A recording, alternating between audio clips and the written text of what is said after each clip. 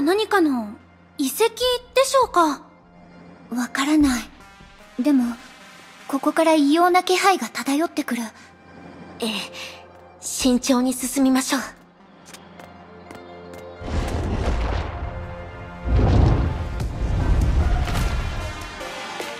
なるほど。これで前に進めるね。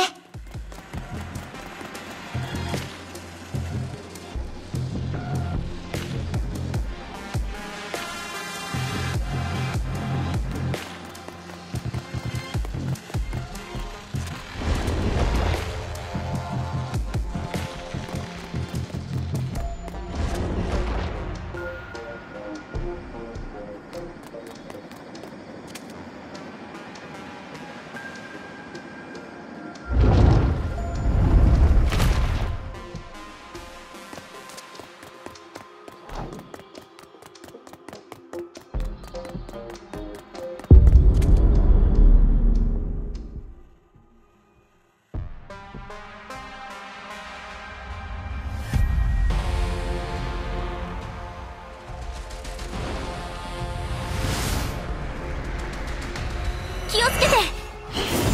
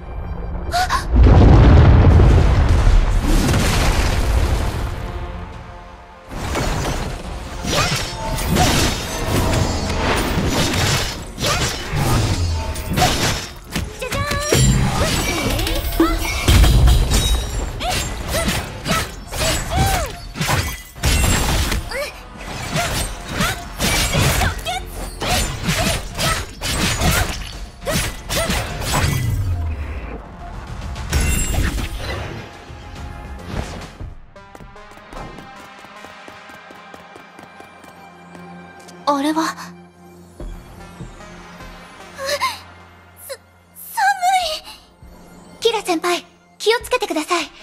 あの装置が霊気を放ってるみたいです。